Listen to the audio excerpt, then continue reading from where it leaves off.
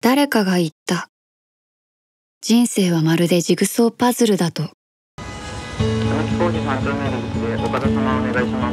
日産に了解。お通りになってる道はございますか？ただいま。おかえり。俺野口が好き。初めて会った時からずっと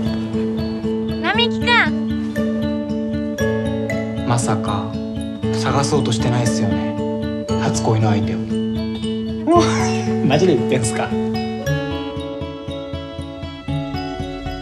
じめまして。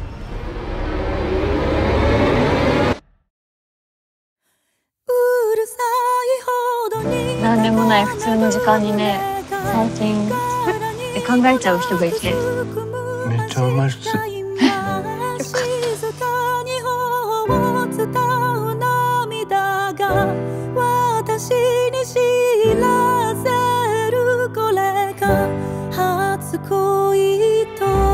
俺があいつを守ります。あんたはあんたのやるべきことをやりなさい。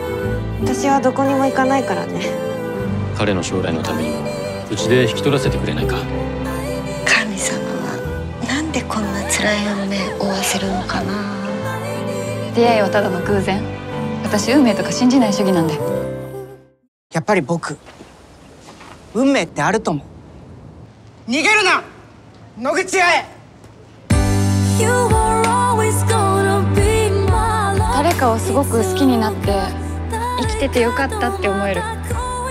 それはだいぶすごいことな気がするんです。